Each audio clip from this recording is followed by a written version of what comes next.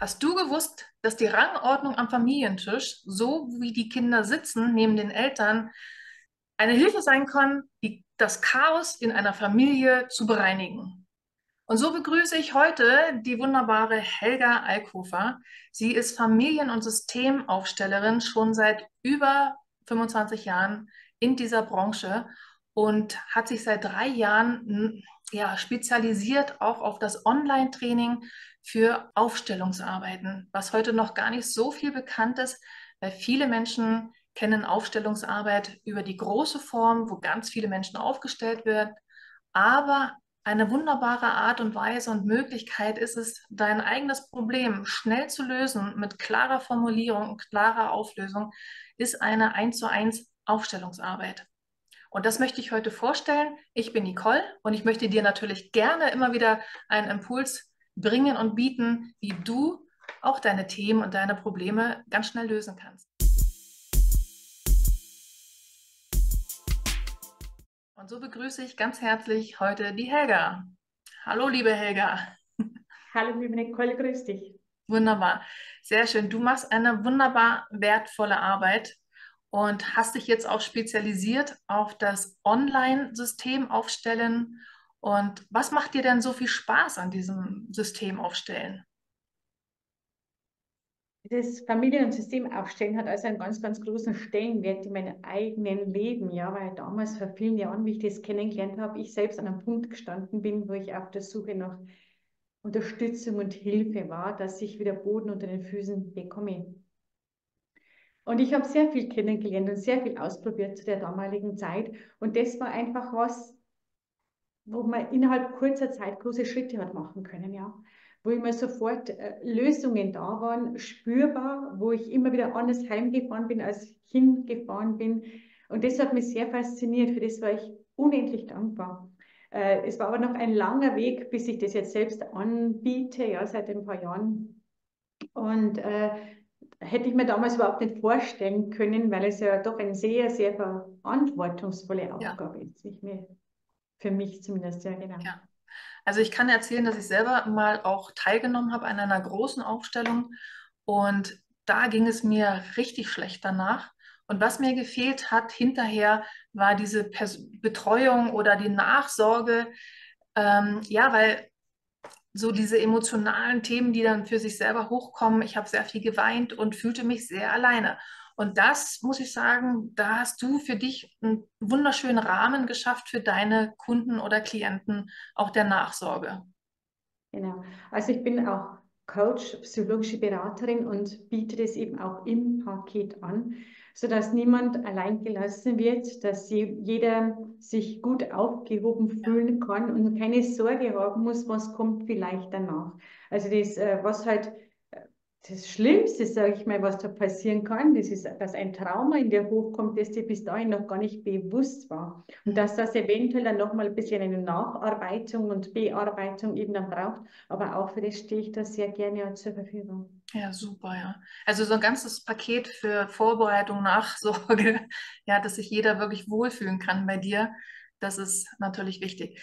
Was mich fasziniert hat bei dir, liebe Helga, als du mir mal erzählt hast, dass diese Familienkonstruktion am, alleine am Esstisch schon einen riesengroßen äh, Ausgleich schaffen würde, wenn die Rangordnung richtig ist, also die Sitzposition jedes Einzelnen richtig positioniert ist, dass das schon richtig viel Stress in der Familie wegnimmt. Das ist doch so, oder?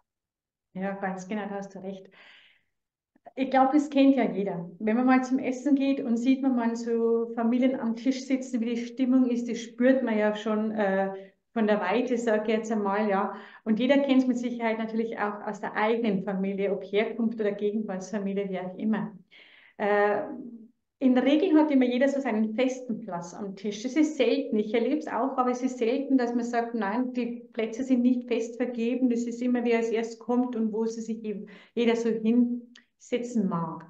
Aber es hat eine ganz, ganz große Bedeutung, weil ein wesentlicher Faktor bei einem Familienaufstellen, es ist nämlich diese Rangordnung, die Reihenfolge. Auch da gibt es ja bestimmte äh, geschriebene Gesetze. Also es heißt ja wirklich so, wer zuerst kommt, mal zuerst. Das Oberhaupt in der Familie ist ja immer der Vater, ja. Und dann kommt die Mutter. Und ähm, dass auch hier diese Reihenfolge nach der Rangordnung eingehalten wird, ist extrem wichtig und bringt eine ganz andere Energie und Dynamik äh, in die Familie und auf den Esstisch. Also das ist ganz leicht nachzustellen, auszuprobieren und das würde ich da jedem Zuhörer oder Zuschauer mal ans Herz legen. Äh, ihr werdet staunen, wie einfach äh, so viel möglich ist. Ähm, wie gesagt, das Oberhaupt ist in der Regel der Vater.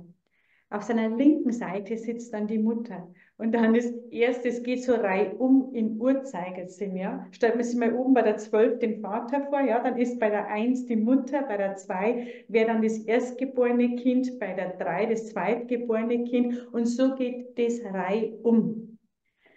Und wenn jeder an seinem Platz ist, auf seinem, wo er hingehört, gemäßen Platz, dann ist auch Friede und Ordnung. Ja? Sehr interessant. Und wenn da aber eine Unordnung ist, ja, wenn zum Beispiel das Jüngste ganz nah bei der Mutter sitzt, so im ersten Lebensjahr muss es ja noch sein, wenn es gefüttert wird von der Mutter, wie auch immer. Gell? Es gibt immer so kleine Ausnahmen, selbstverständlich. Aber äh, dann gibt es Chaos. Hm. Dann gibt es Chaos und das ist spürbar. Ich habe das auch gerne schon mal in einer Gruppe bei mir ausprobieren lassen, ohne dass ich die Personen, die Teilnehmer vorher informiert habe. Äh, die haben sich hinsetzen können, einfach mal eine fünfköpfige Familie so nachgestellt. Ähm, welche, wie die Emotionen wechseln, wie unterschiedlich diese Familienteilnehmer sich fühlen, was es wirklich für einen Einfluss hat, auf welchem Platz ich sitze. Mal gesehen, mal wertlos, mal ganz untergegangen. Einmal habe ich es erlebt, das war das erstgeborene Kind, die hat es überhaupt nicht ertragen, ist gleich geflüchtet und hat sich in die Ecke gestellt. Und es ist den Eltern bis zum Schluss der Ausstellung nicht mehr aufgefallen, dass es einem Kind abgeht. Also da war so viel Chaos da und ich habe denen nur mal als Aufgabe gegeben, jetzt diskutiert mal, wo soll es denn heuer in Urlaub hingehen? Das war mal so das Thema und dann ist losgegangen. Und dann haben wir dabei immer wieder die Plätze gewechselt. Und es war, also es ist sehr spannend und interessant, was alles möglich ist, wenn man sich mal an so kleinen Regeln hält. Mhm. Was kann denn das dann für, auch für später für eine Auswirkung haben, wenn der Sohn oder der Erstgeborene oder das erstgeborene Kind nicht an dieser Stelle quasi links von der Mutter sitzt? Was hast du da schon Erfahrung gemacht, was das ausmachen kann oder wie man das im Nachhinein auch verbessern kann, wieder aufholen kann? Also es hat sehr, sehr große Auswirkungen, ja. Das zieht sich dann durchs ganze Leben und in alle Lebensbereiche. Es beginnt wirklich, die Wurzeln sind wirklich immer so ganz am Anfang äh, zu Lebensbeginn und auch in der Grund, in der Ursprungsfamilie, wie ich das lerne, welches Muster ich weitertrage durch mein Leben. Und egal, ob das später mal im Familien, also in meiner eigenen Familie, in der Partnerschaft oder auch am Arbeitsplatz zwischen Kollegen in Bezug auf den Chef und und und, wie fühle ich mich da? Kann ich mich da mal anpassen, unterordnen? Finde ich meinen Platz? Werde ich gesehen oder nicht wahrgenommen? Werde ich da anerkannt? Oder ähm, fühle ich mich da angekommen, überfordert, unterfordert? Also das, das zieht sich durch das ganze Leben. Mhm. Finde ich, wie finde ich meinen Platz? Kann sich das dann auch so ein bisschen in diesem Selbstwert nachher äußern? Dass ich mich nicht so sicher fühle und ähm, mich nicht so unterstützt vielleicht auch von den Eltern? Kann das damit zusammenhängen? Also auch das hängt mit Sicherheit damit zusammen. Äh, auch, also es ist ein Riesenkonfliktpotenzial zwischen den Geschwistern, diese Rivalität selbstverständlich.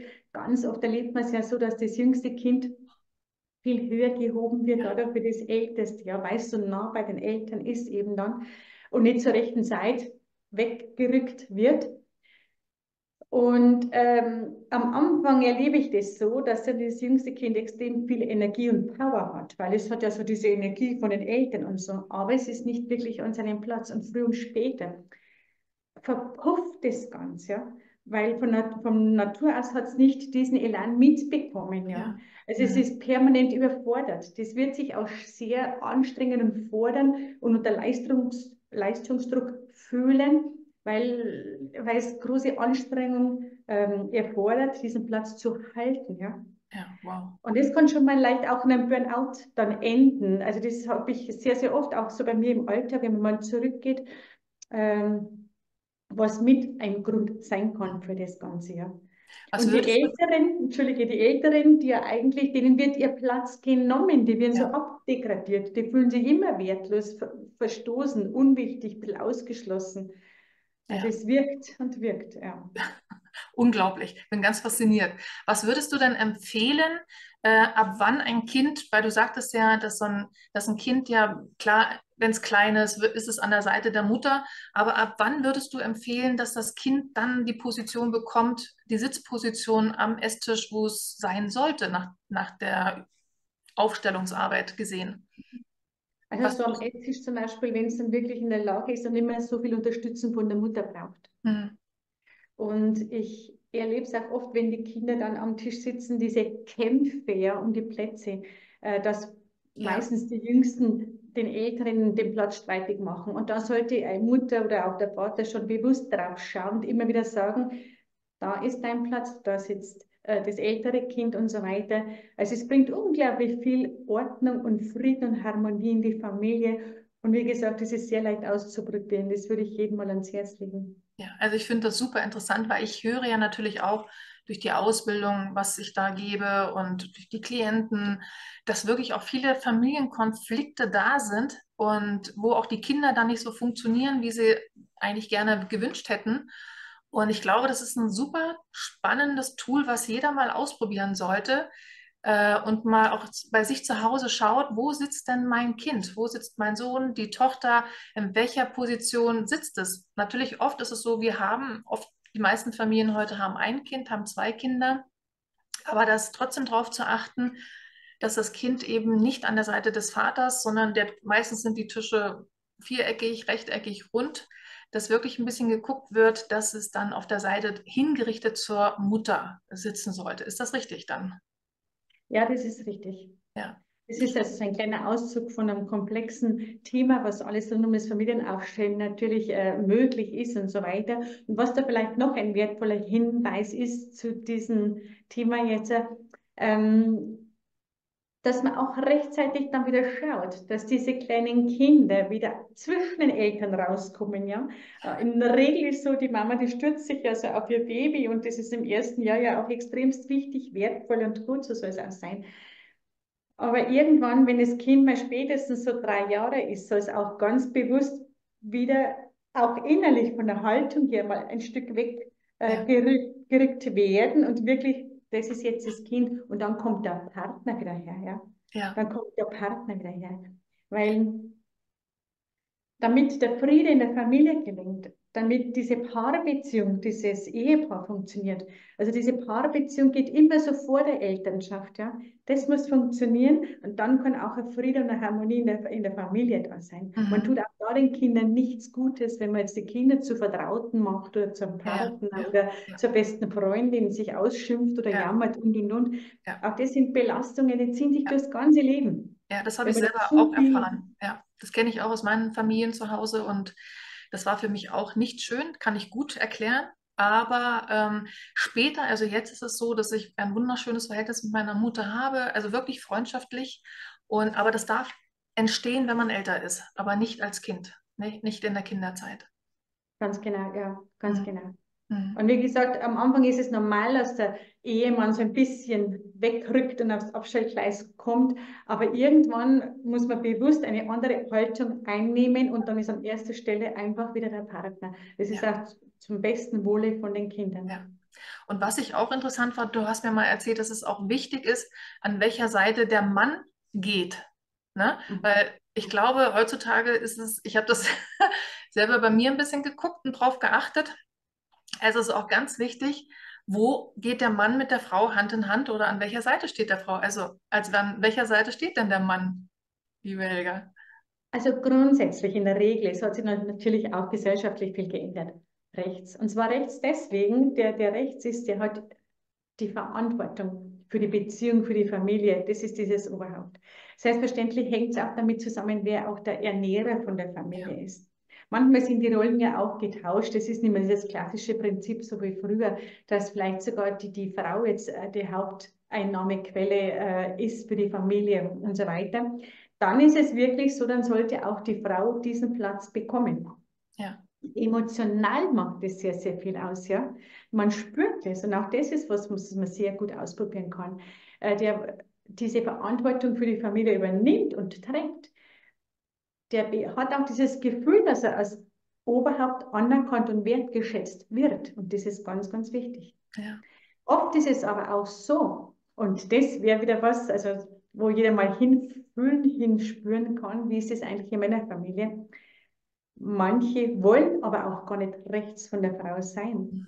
Und ich sage immer wieder, probiert es aus, wenn ihr spazieren geht, äh, ohne dass ihr darüber sprecht, selbstverständlich. Fühlt euch nur mal hin. Ja, dieses Familienstellen ist ja immer ein, ein Fühlen, ein Spüren, ein Wahrnehmen. Ja, der Kopf wird ja ausgeschaltet.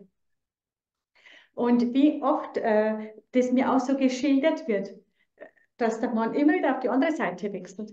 Also das heißt, der will eigentlich auch gar nicht Verantwortung ja. übernehmen. Ja. Oder die Frauen spüren zur eigenen Überraschung, sie fühlen sich gar nicht wohl, wenn sie den Mann rechts haben, der ist ihnen ja viel zu mächtig, viel zu groß. Sie fühlen sich ja wesentlich wohler, wenn sie auf der rechten Seite sind. Dann wird der gleich ein bisschen kleiner. Also man mhm. spürt es wirklich sofort. Ja, es ist wirklich interessant. Ich kann das wirklich empfehlen. Ich habe das auch selbst ausprobiert und habe mir dann auch meine Position da wieder gesucht, weil ich mich wohler gefühlt habe. Aber ich glaube, das kommt auch viel immer darauf an, wie ist die Partnerschaft mit dem Mann, wie ist das Verstehen miteinander, konkurriert man in einer Partnerschaft, unterstützt man sich in einer Partnerschaft oder wirst du gefördert in einer Partnerschaft. Ich glaube, das macht sehr, sehr viel aus, dass ich dann auch weiß, in welcher Position stehe ich. Ne? Genau. Ja, wunderbar. Hast du noch was mitgebracht oder was würdest du denn empfehlen, wenn sich jemand jetzt ähm, mal so rückblickend sage ich jetzt mal, ein 30-jähriger Mann, 30-jährige Frau würde rückblickend in das Familiengeschehen schauen und, ach, ich saß ja falsch. Kannst du da eine Empfehlung noch geben? Was kann er heute für sich tun? Kann man, kannst du irgendwas sagen, da das auch vergeben oder, oder einfach sagen, okay, mir geht's gut, ich brauche da nichts zu ändern oder vielleicht ein Gespräch mit den Eltern nochmal oder wie hat er sich gefühlt? Was kannst du vielleicht empfehlen? Also ich denke, ich bin das, ich bin mir ganz offen fürs Ausprobieren. Und viele sagen ja, es passt ja, es geht uns gut und so weiter. Äh, das ist natürlich auch sehr, sehr viel Gewohnheit, weil man gar nichts anderes kennt, weil man vielleicht gar nicht weiß, boah, es wäre noch so viel Luft nach oben, es wäre noch so viel anderes möglich. Und das sind so Kleinigkeiten, die wir jetzt so besprechen, ja sehr wertvoll, mal was anderes, anderes Gefühl kennenzulernen. Und wenn ich dann vielleicht merke, boah, da entdecke ich jetzt was bei mir, ja, äh, eigentlich würde ich schon gerne so meinem Mann stehen, aber, aber mir, mir, mich macht es nervös. Es tut mir nicht gut auf dieser Seite. Ja. Das ist so eine klassische Situation eben auch, wo ich merke, mir fehlt eigentlich was. Äh, äh, diese mhm. Energie, diese Kraft, diese innere Stärke fehlt mir, damit ich da auch wirklich gut stehen kann und mich wohl fühle. Ja.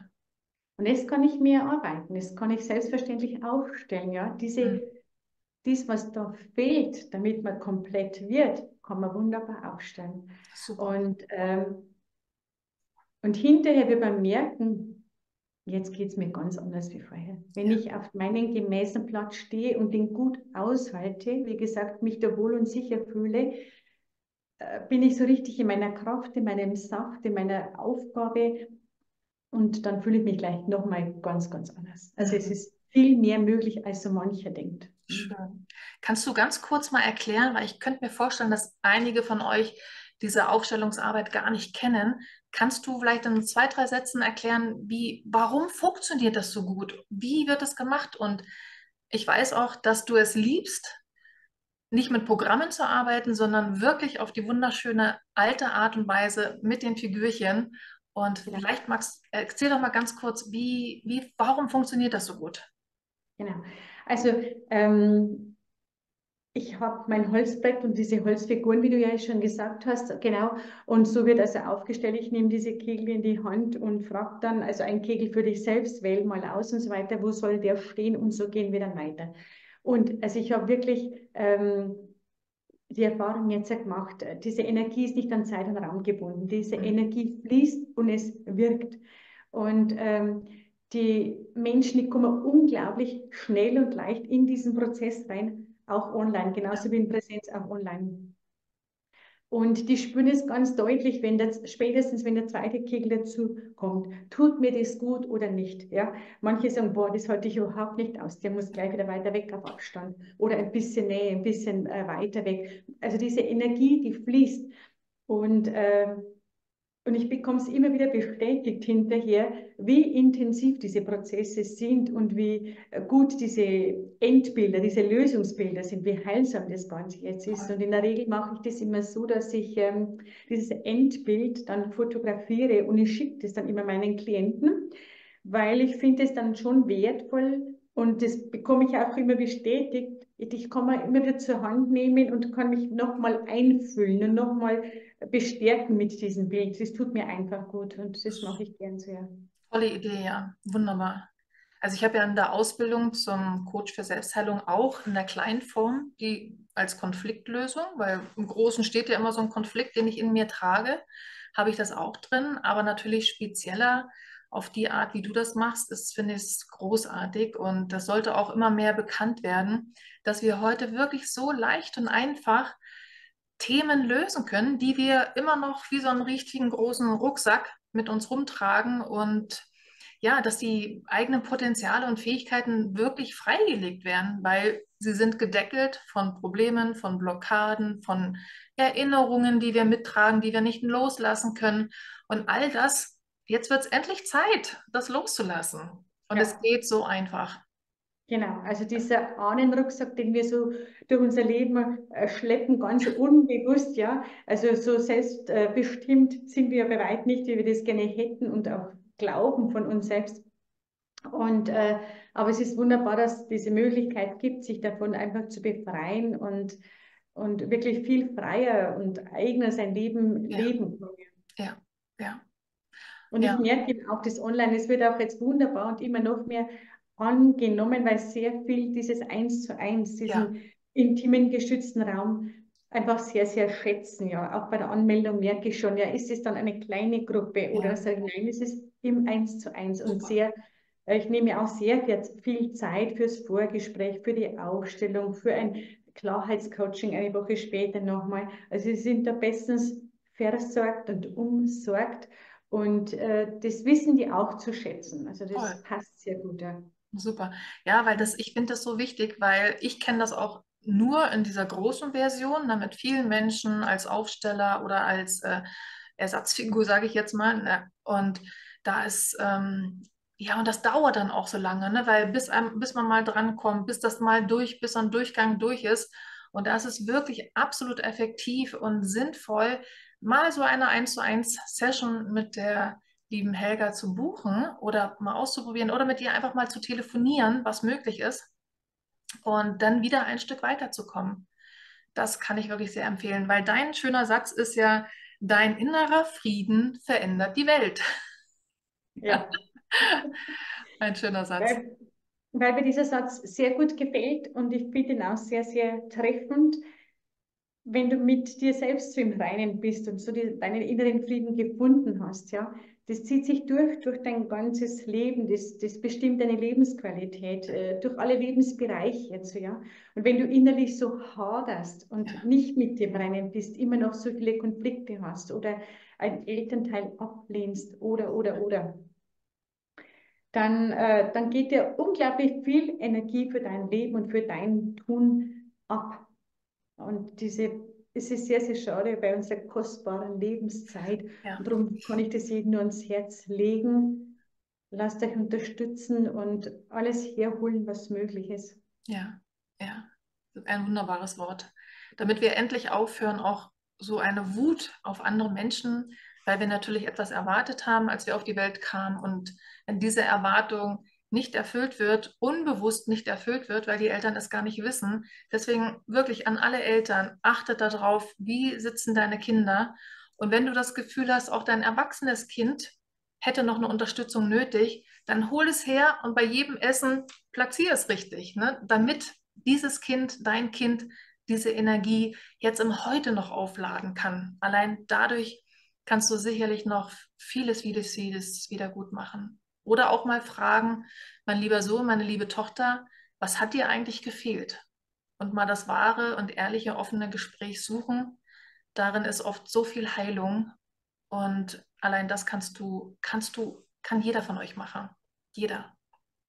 Und ansonsten diese Möglichkeit wählen mit einer 1 zu 1 Aufstellungsarbeit und mal das Thema, das Größte, was dich belastet, mal aufstellen, mal reinfühlen, auch wieder in das Gefühl kommen, die eigene Wahrnehmung zu stärken und mal auch wieder diese eigene Wahrnehmung für sich zu akzeptieren und zu fühlen und dann auflösen. In einer wunderschönen Klarheit und bestärkt nach Hause gehen.